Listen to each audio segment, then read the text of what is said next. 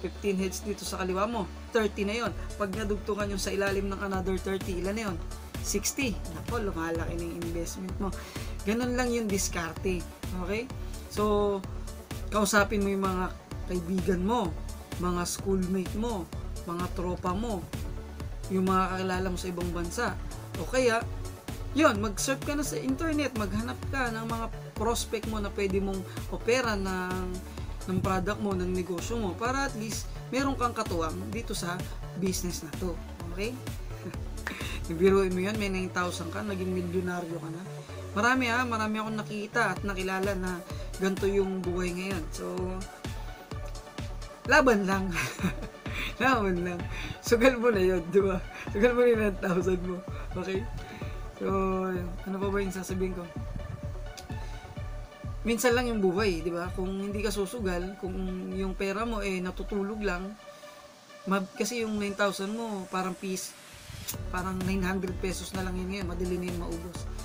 Ngayon, kung meron ka namang pang araw-araw, kunwari, meron ka namang negosyong tindahan, kumikita naman siya, nakakain ka naman, eh, mag, mag-invest ka ng 9,000 para at least ng 8,999 para meron ka pang option B na malay mo, di ba? Para kang nanalo sa loto, maging milyonaryo ka dahil sa pag-register mo dito, di ba? Okay?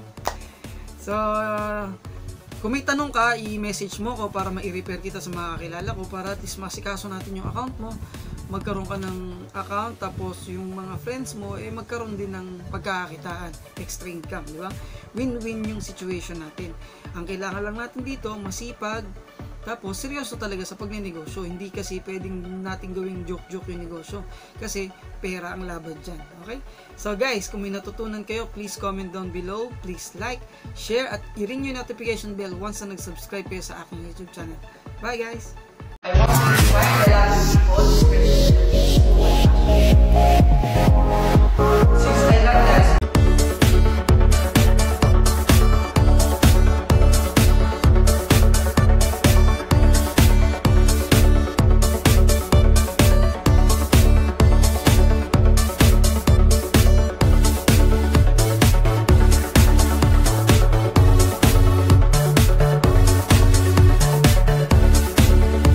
guys, what's up? I'm Coach Nick Manhares. Today, meron na naman tayong usapang business. Ayan. Ano tawag dito? Dito sa Empowered Consumerism, nabubulol na naman ako. Easy 5. Kung meron kang puhunan or meron kang pang-invest na 899, pwede itong lumaki ng million, million, million, million, million, million. so, nasa sayo na yun kung paano mo palalakin yung investment mo. Okay? Huwag ka nang magduda kasi totoo to. Marami na talagang taong umasenso dito. Okay? So guys, ito yung mga technique kung paano mo pagagandahin yung buhay mo. Siyempre, ito yung mga tip ko sa iyo para bago ka magsimula ng isang negosyo or pumasok ka dito sa EC5, eh, alam mo kung ano yung gagawin mo. Hindi yung, ha? ano, wala kang alam, di ba? Wala kang alam sa negosyo. Mas maganda, bago ka magsimula ng negosyo, alam mo kung paano mo to patatakboy. Kasi guys, ang negosyo, up and down yan. Hindi yan, hindi yan straight line na, ano, na, natakbo. Di ba? Minsan mahina, minsan malakas. Mas madalas pa nga yung bagsak mo. Pero, sa bawat bagsak mo, pag natuto ka, sa pag-angat mo, isang beses ka lang umangat, tuloy-tuloy yan ang pag-asenso mo. Okay. Ngayon, kung may 899 ka na na account, ang una mo munang gawin, di syempre meron ka ng ah, product, meron ka ng scholarship, meron ka ng DTC, para ma-monitor mo yung account mo. Ang kailangan kailangan mo nang gawin is maghanap ka na ng market. Okay? Hanapin mo yung may mga nakakaluwag sa buhay, yung mga kaya mag-invest. Syempre alam mo alukin mo yung walang kaya, walang walang pera, di ba? Kasi mahirap yun baka mamaya ipinangutang niya pa yun tapos naiinip siya walang walang bumalik sa kanya na pera eh mag-away pa kayo so mas maganda ang hanapin mo yung mga Siyempre, ang kailangan-kailangan dito, yung mga business-minded at open-minded sa negosyo. Yung willing talagang sumugal. Hindi yung kakainin na lang, isusugal pa sa business, di ba? Magkaiba yun. So, kailangan hanapin mo yung kayang-kaya. Okay? Next. Siyempre, um, kung nag-iisa ka, humanap ka ng mga kagrupo mo, dalawa muna, maging lima kayo, maging sampu, hanggang maging dumami kayo ng dumami, para mas mabilis yung yung networking nyo, yung tulungan nyo kasi pag kumita ka, naipasa mo sa kanya, kumita siya, pasa niya ulit sa isa, parang pass the ball lang yan, diba? So, doon na pumapasok yung leverage na kikita kayong lahat, diba? Mas mabilis yung kitaan. So, doon na pumapasok yung pwede kang kumita ng milyon. Kasi, guys, ito na nga, pwede kang mag-invest ng 7 account, di ba? Kunwari, 7 account, 7 heads, di ba? Sa 7 heads na yun, pag naparisan yun ng 7 ulit, o ilan na yun? 14 heads, di ba? Malaki. Malaki yung kita. Ngayon, kung hindi ka pa rin kontento sa 7 heads, talagang gustong gusto mo talaga maging malaking malaki, mag 15 heads ka na. Okay? So, 15 heads. 15 dito sa right mo. 15 heads dito sa kaliwa mo. 30 na yon. Pag nadugtungan yung sa ilalim ng another 30, ilan na yon? 60. Nako, lumalaki na yung investment mo.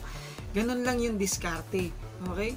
So, kausapin mo yung mga kaibigan mo, mga schoolmate mo, mga tropa mo, yung mga kakilala mo sa ibang bansa. O kaya, yun, mag-search ka na sa internet, maghanap ka ng mga prospect mo na pwede mong opera ng, ng product mo, ng negosyo mo, para at least meron kang katuwang dito sa business na to. Okay? Ibiruin mo yan, may 9,000 ka, naging milyonaryo ka na. Marami ha, marami akong nakita at nakilala na ganito yung buhay ngayon. So, laban lang. laban lang. Sugal mo na yun, di ba? Sugal mo yung 9,000 mo. Okay? So, ano pa ba yung sasabihin ko? Minsan lang yung buhay, di ba? Kung hindi ka susugal, kung yung pera mo eh natutulog lang, mab kasi yung 9,000 mo parang piece, parang 900 pesos na lang yan ngayon, madali na yun maubos. Ngayon, kung meron ka namang pang araw-araw, kumari, meron ka namang negosyong tindahan, kumikita naman siya, nakakain ka naman, eh, mag, mag-invest ka ng 9,000 para at least ng 8,999 para meron ka pang option B na malay mo, di ba? Para kang nanalo sa loto, maging milyonaryo ka dahil sa pag-register mo dito, di ba? Okay. So, kung may tanong ka, i-message mo ko para ma-repair kita sa mga kakilala ko para at least masikaso natin yung account mo. Magkaroon ka ng account tapos yung mga friends mo eh magkaroon din ng pagkakakitaan, extra income, di ba? Win-win yung situation natin. Ang kailangan lang natin dito, masipag, tapos, seryoso talaga sa pagnenegosyo. Hindi kasi pwedeng natin gawing joke-joke yung negosyo. Kasi, pera ang laban dyan. Okay?